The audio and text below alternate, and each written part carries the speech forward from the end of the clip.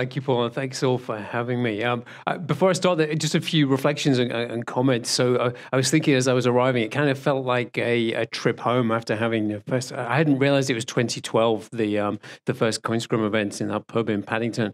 The one I actually remember was the. I don't know if Paul remembers this. Was the um, the impromptu open outcry Bitcoin trading you did on Brick Lane a year or two later? Do you remember that? And, and I remember, I remember because I wrote, I wrote a blog post about it. And the thing that I found utterly fascinating about that was how spontaneously in this sort of like dark room, you were there, you were there, that dark, that dark room was, it wasn't just the trading that happened. You know, people were actually writing down the, the, the, trades they'd committed to and little bits of paper that then all got sorted out at the end. Like an impromptu process of clearing and settlement um, just immediately, spontaneously occurred at the back of this. Like the, the, the history doesn't, doesn't repeat, but it certainly echoes. Um, second comment was just thank you to Arthur. Um, it's so easy in these debates just to go on the attack and rather than make the case for what you're building yourself, just to go and, and attack the opponent and say why they're um, you know, why, why they're idiots, even when given a really wide open goal that you could go and kick into. So thank you for thank you for keeping it um, keeping it above the belt. So I don't think I've got an easy job, but I'm going to do my best. I'm going to try and do three things. I'm going to spend most of my time on the first two, and I'll, I'll gloss over the third. But I think it is relevant because I think that's where these these these um these worlds come back together. I'm going to try and convince you of, of two, if not three things. The first is that these things I call enterprise blockchains, and I'll come on to this, the reason for that in a moment, because I'm not convinced the open, closed, permission, permissionless distinctions are actually as clear cut as they look. So I'm going to make the case for these things I call enterprise blockchains, but you, know, you decide whether you think this is a meaningful distinction. So I'm if even 10% or 20% of the people in this room um, have changed their mind and leave this room thinking that, you know what, maybe Richard's onto something, maybe there actually is something novel and of value here, then I'll regard that as a success. What I then go on to do is then explain why we went, you know, we R3, we the R3 community, why we went on this seemingly insane journey to then go and build our own platform. You know, building a platform is really, really hard. You know, I'm sure Arthur would attest to that. Anyone who's tried it, it's hard to do it. So why did we go build Corda? Even if we convinced ourselves this was something that was necessary, why didn't we just reuse something that already existed? Why didn't we take something off the shelf or adapt it? You know, why did we build our own thing? Um, and then at the end, I'm going to make a bit of an apology because, you know, in my my writings, I often take swipes, usually at the other enterprise blockchains, you know, Clearmatics. I'm sure there are some of those guys in the room at the enterprise Ethereum variants and Hyperledger.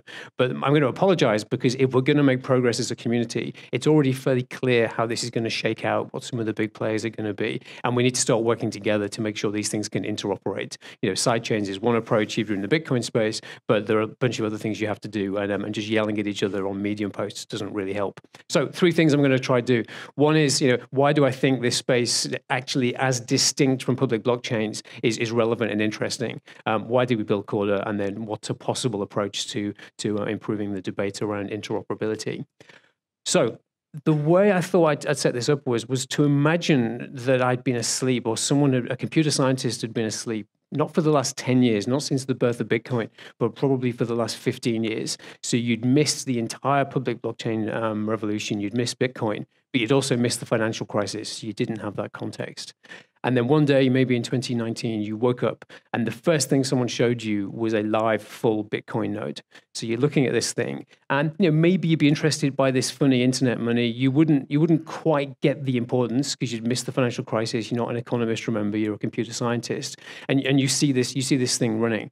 And then you're told that there are thousands, you know, potentially thousands of other copies of this Bitcoin full node you know, running around the world and they're all within some bounds perfectly in sync. So you know that when so, so you, so you suddenly come to believe and realize that this system you're looking at, that all it's telling you is you know how many bitcoins there are and you know, ultimately who owns them or what you need to do to spend them. But you're told that there's this system that keeps all these different computers in sync, and yet the people who are running these computers don't know each other. But they certainly they may not know each other. They certainly don't trust each other, and there's no CEO of this network. There's, there's no one running it.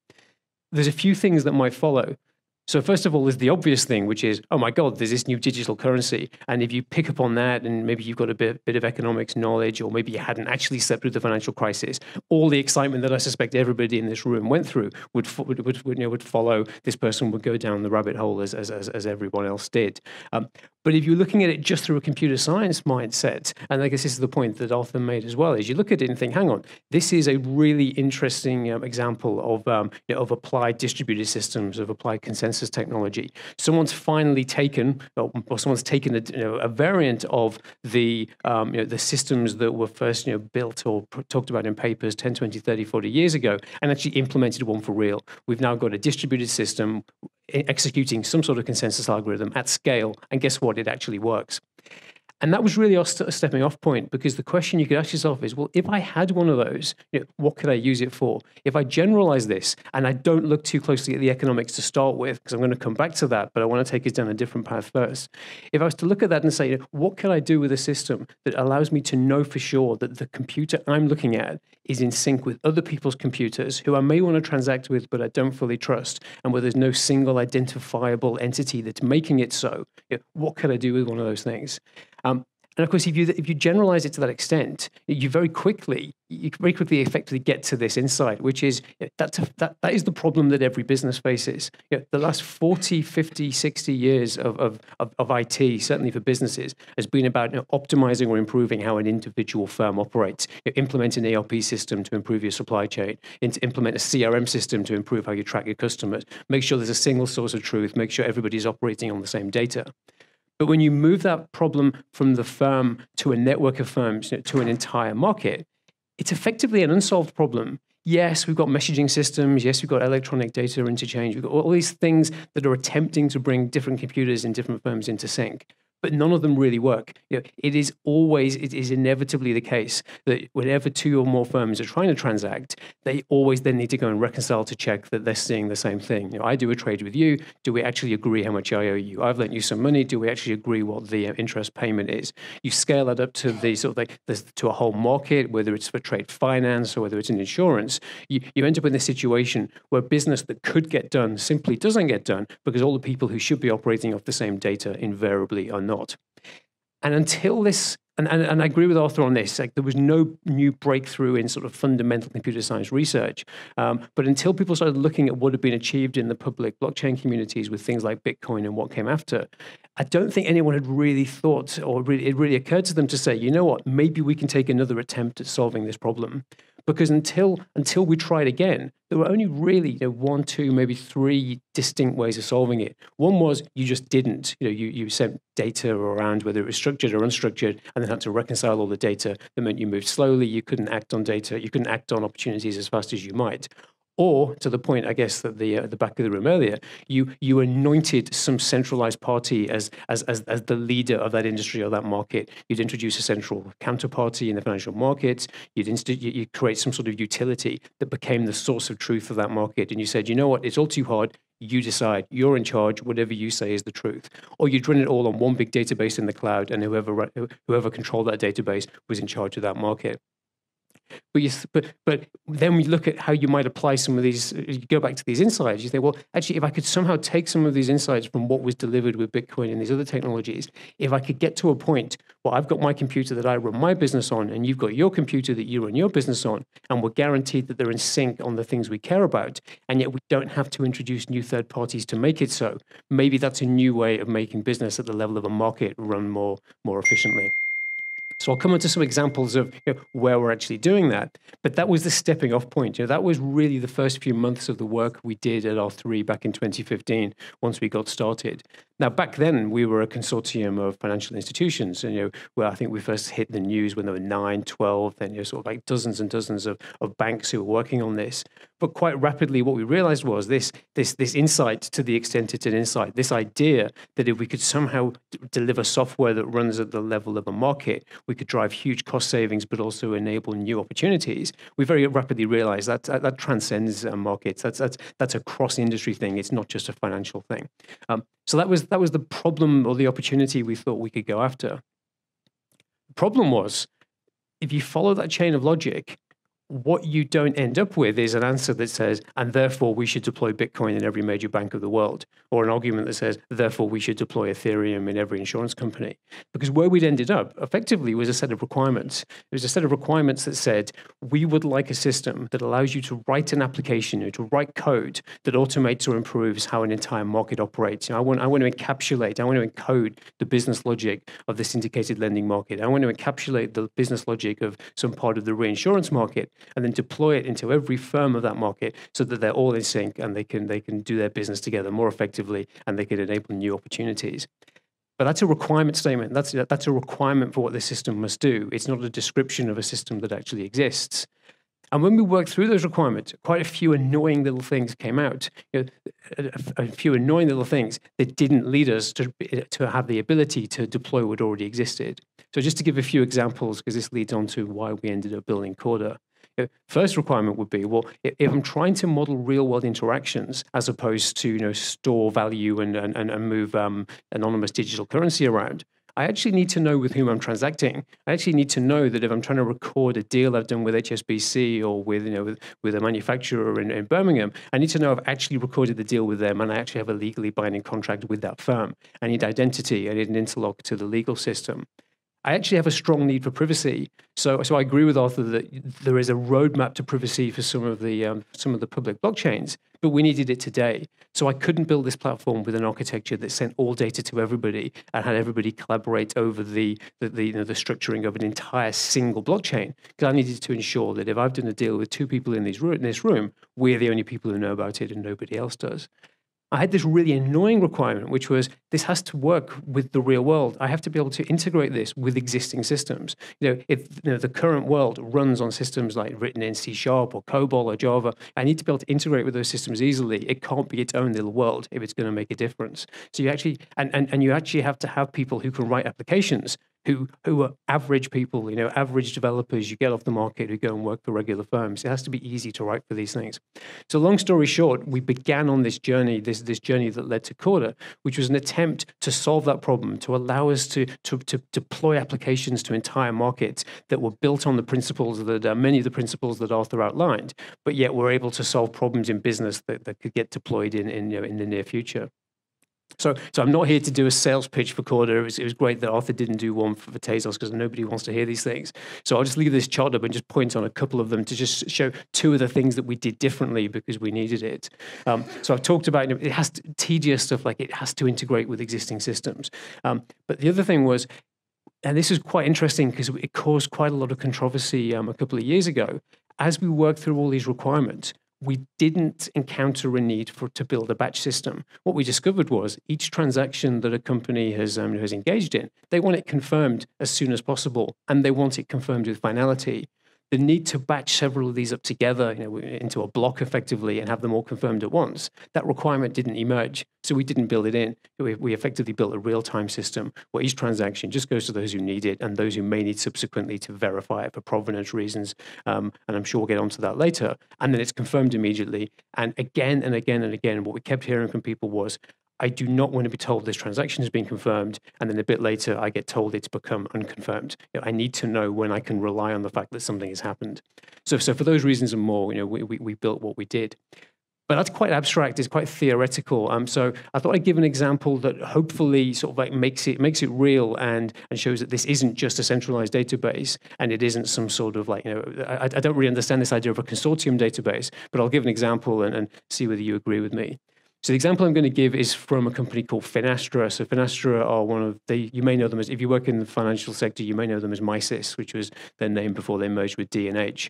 Um, and they're one of the largest um, financial software firms in the world. And pertinent to this discussion, they produce a piece of software called Loan IQ that manages most of the syndicated loans in the um, in the world. And I didn't know anything about syndicated lending before um, before I joined R3. Um, but it's almost just it's almost like an example of almost it's it's a, it's a microcosm of pretty much every market in the world because syndicated lending, like most markets, the syndicated lending market is an inherently decentralized market. The setup effectively is, you know, we're just around the corner from the from the Moorgate Crossrail station. Large infrastructure projects, or anyone in any firm who needs to borrow a lot of money, typically cannot get one bank to lend it to them.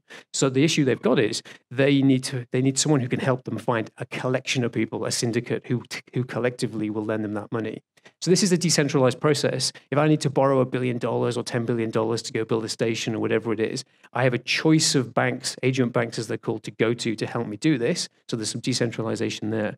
And then they've got an entire roster of lenders they can, they, they, they can assemble their syndicate from um, in order to help do that. So there's, so there's, there's no one in charge. There's no central point of control for this network, just a whole web of relationships and contracts that, that exist between all these different firms. And as a result, this market looks just like pretty much every other market, which is all the firms in that market have pretty much optimized the hell out of the, uh, uh, optimized the hell out of how they how they operate, both their IT and their people and all the rest. But the communication between those firms, it's literally still email, fax, telephone, and, um, and post. You know, there's, there's almost no automation to note between these firms, even though the majority of them are all running the same software within the walls of their own banks. You know, it's, it's, kind of nuts, but it's what happens when you don't actually have anybody in charge and there's, and there's no one to force this change what Finastra figured out was, well, hang on, if we were just to go and operate a centralized database or offer to operate one, everybody would see right through that. You know, exactly to Arthur's point, you know, it would be it would just be such an easy opportunity to extract a rent or to to to to, to assert control. That isn't going to work. They started looking at the enterprise blockchain space. They chose Corda. I'm sure they could have chose something else and said, actually, this works with the grain of the market, not against it. The market is decentralized. The market is point to point. Corda is point to point. If we were to deploy a Corda node in each of these major firms, deploy this, this thing they're calling LenderComm, but the, the details don't matter that much, um, deploy this application um, onto each of them, we could with not much effort, massively improve the amount of information and the quality of the information that flows between these firms in a way that makes loans you know, process themselves far more efficiently, reduce costs, ultimately reduce interest rates. So it's actually beneficial to everybody. Um, but without introducing, this is the key point, without introducing any new points of control or any new third parties, which is why, and, and that's phase one. It sounds quite dull just information flow, but the vision is actually quite interesting. You know, phase two is this becomes the authoritative record for who owns these tranches. Phase three enables a new um, market um, for the secondary trading of these things. So there's an, there's, there's an entire piece of you know, opportunity that comes off the back of it.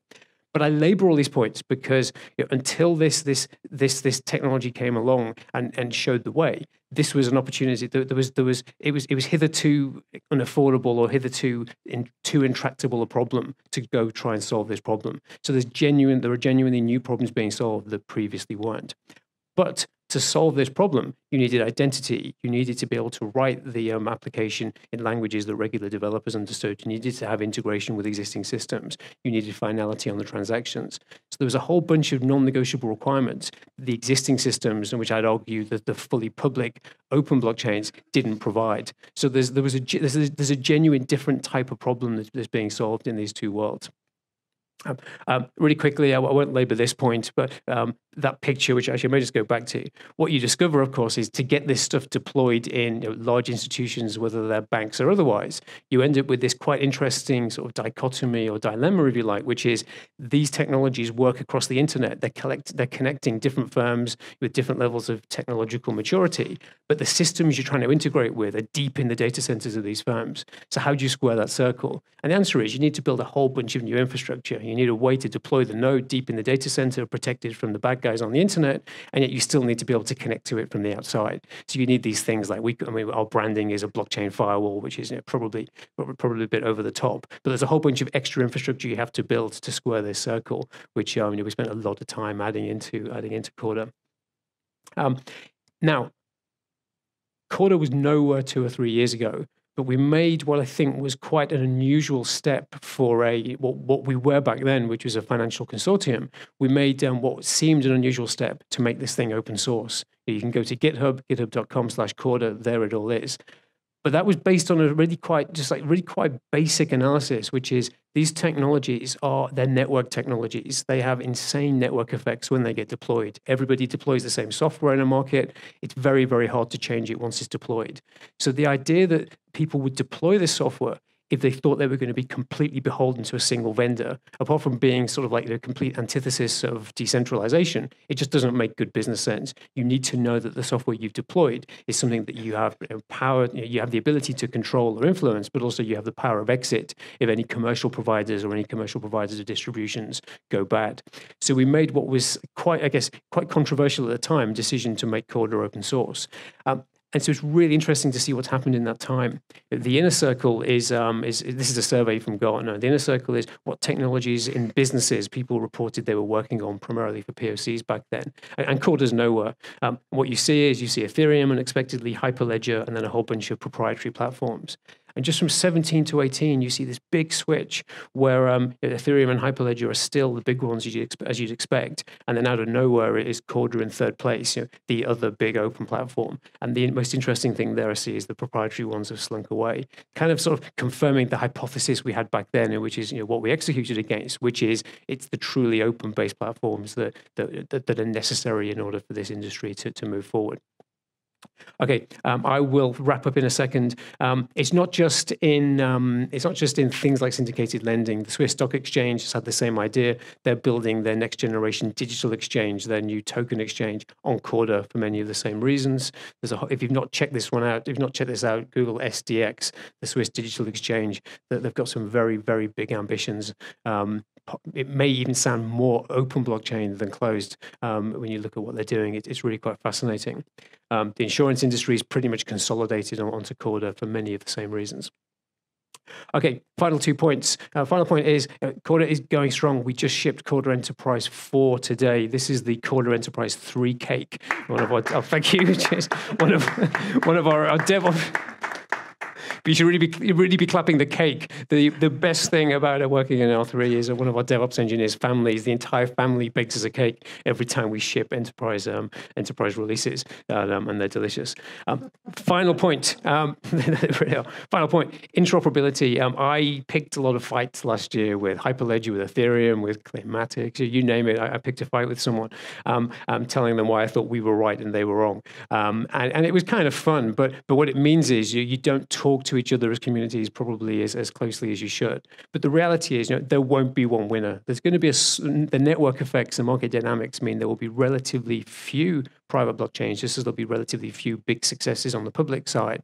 Um, but we're going to have to interoperate with each other. And my final thoughts are I think we've got massively overcomplicated with the interoperability story. Some of the protocols I see proposed by people are just so insanely complex. I think we need to take it right back to basics. So I'd like to, maybe this, this will kick off the discussion later. I think we need to maybe just see if we can even agree on some basic principles, such as you know, I'm aware of some platforms where two deployments of the same software software, um, we know diff- if they've got different identity layers or different consensus layers, they can't even interoperate with themselves. That doesn't make sense. We need to be in a position where multiple deployments of the same software can interoperate. Um, anytime we try and define a protocol for these things to talk together, we should probably make it platform independent and not assume everybody's running Bitcoin or everybody's running Ethereum, because you know most people are not. You know, I mean, the two presenters here are not running either of those two um, platforms. Um, we should, of course, do it in the open. That's been the basis of, of, of Corda and, and Tezos since the start. Um, and maybe something that you know, obviously controversial in an audience with people who are very familiar with Bitcoin every customer I speak to, for them, finality is, is, is non-negotiable. When I talk to them about possibilities of you know, probabilistic finality, or you know, it might reverse, or there might be a reorg, but then but there may not be. It, it's just it just doesn't work for them.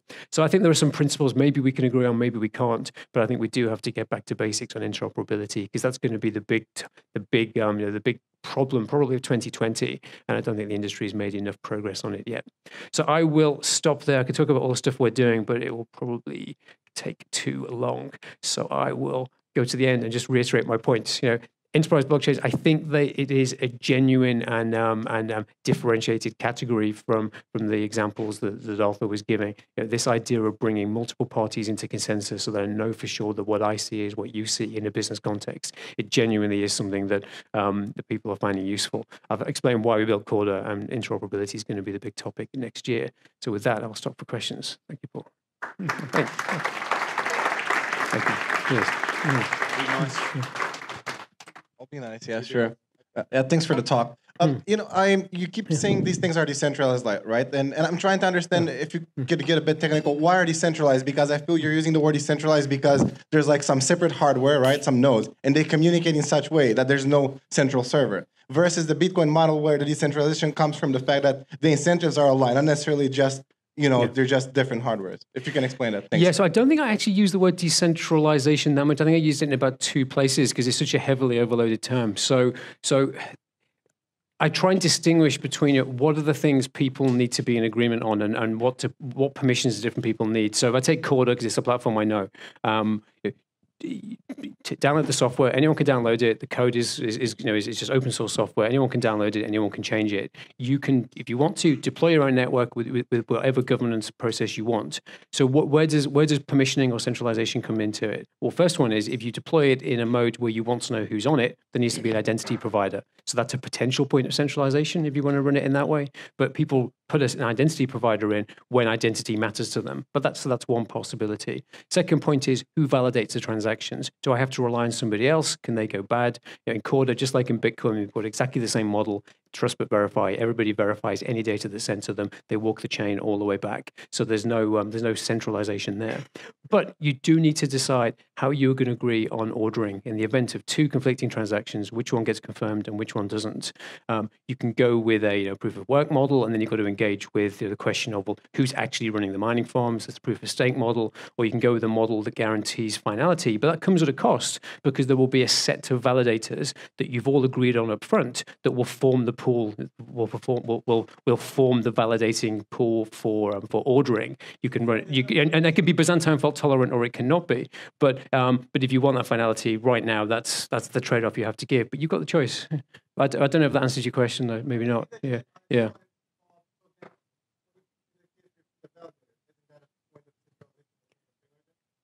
Um, not if you're running it in Byzantine fault tolerant mode. And when I say when I say validators, I think I may have misspoken. I mean the orderers, the people you were relying on to say which of two conflicting transactions did they say first, and importantly, to make sure they always give that same answer to everybody. Um, if you're running a centralized server, which you can do, and surprisingly, in some cases, maybe that's the consortium case, that's good enough for some people. But in a case where you assume some of them could be malicious or colluding, you can run it, run it in a Byzantine fault tolerant case, and then you need more than a threshold to be bad before it goes wrong. But that's no different to the sort of selfish mining attack with 33% threshold in Bitcoin or or any other um, any other. You have to make you have to state your assumptions. Yeah. Yeah.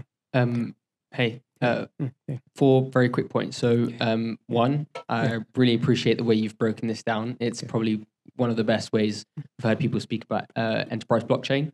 Uh, two, you. commend you on the fact that it's open source. Thank you. Uh, three, uh, also commend you on the fact that uh, in the way that you describe this, you don't shit talk um, and you explain the evolution of the internet and and the role that private consortium and public blockchains um, play in the ecosystem. Hmm.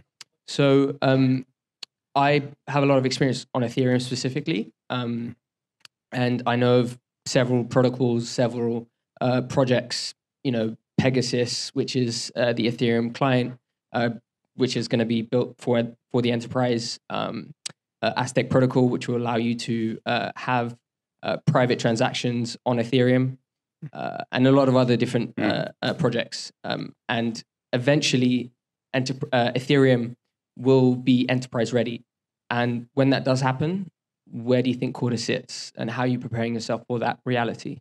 It's a really good question. We had this we had this debate back in 15 when we were um, beginning to design it because it, it, it, effectively it, there's almost a if you look at just the Corda and Ethereum communities, um, leave aside the leave aside the sort of the philosophical differences um, that are currently in place around finality and non-finality because let's assume we're in the enterprise space with the work PegaSys are doing or whoever or, or, or I keep mentioning Clearmatics because you know, we're both based here in London. Um, the, there's probably the biggest philosophical difference is um, and it's going to sound weird, but it's around tooling ecosystems. So the if, if, so you look at what you know Vitalik and, and the gang did back with Ethereum. You know they they they had the the benefit, but also the disadvantage of going first, and they had a lot of problems to solve. They needed a deterministic virtual machine. There's a whole bunch of stuff they needed, and they took the decision, which was essentially to build everything from scratch. So they defined languages, they defined a virtual machine, a tool chain, the, the whole thing. Um, we because we went later didn't have didn't have one didn't have the time um, or we didn't have the luxury to even consider doing everything from scratch but also philosophically our view was well hang on a sec. You know, virtual machines already exist. You know, there's a java virtual machine there's a c you know, there's a c language the um, common language runtime. There's like 20 years of tooling associated with those things. So the bet we made was you could get there faster and possibly more effectively if you start with the tools that already exist and then make the changes you need to make to them to uh, to make them work in the in the blockchain world. The most obvious one being Java, which is what we run on the Java virtual machine, has the advantages of 12 million developers, has the advantage of all the tooling, billions of dollars, maybe tens of billions of dollars of investment by those providers, but it's not deterministic. So we spent a lot of time building it. It's, it's been open sourced as well, building a deterministic JVM. So you can, for the bits that need it, which is just the contract verification, you can write the code in Java, but if it is not deterministic, so it accesses the file system or a random number generator, it, it will not run. So, so we made the bet that was the bet, which is to, to net it down, start with the ecosystem that exists and tweak it to meet our requirement rather than building an entirely new one from scratch. So I guess we're in a race, you know, as, as, as, as, as we try to mature both these platforms, you know, which one builds the developer community to which one, which one builds the right developer community to the right size, because they're two very different approaches to trying to achieve, trying to solve the same problem. Thank you. Cheers. Thank you. Uh, we'll get one more question, then we're going to move on to the panel, so there'll be plenty of time for some more questions as well. We haven't had a, a lady ask a question tonight. Hi. Um, you show a chart uh, of comparing 2017 to 2018 with the different blockchains and how Corda uh, had uh, become a larger network. How would you say now Corda will compete with Quorum now that um, uh, JP Morgan try, is trying to take a lead uh, on the block enterprise blockchain sector and in uh, stable coins and digital assets?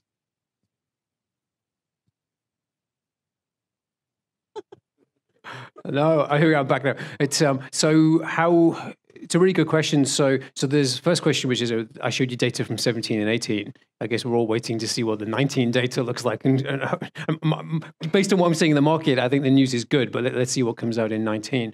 There was a Forbes report uh, a couple of weeks ago about just sort of the top 50 blockchain projects, and you net it down, and it was kind of consistent. with The top three projects, sorry, the top 50 projects are, are using um, Ethereum variants, Hyperledger, or um, or Corda. So that, that was consistent.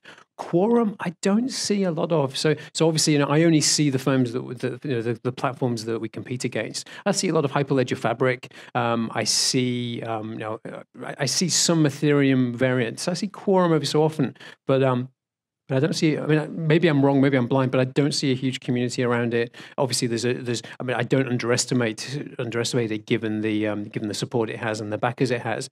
But empirically, you know, practically on the ground, I, I don't see it very often. And, and the times when we ha- times when we have, I think of um, you know a project we did in Singapore, a more recent project um, that I can't talk about, where um, you know Corda and one other platform did extraordinarily well, and Quorum was one of the two that didn't. So uh, so so we'll see, but no, I, I don't underestimate anyone. But practically, I don't see it that much.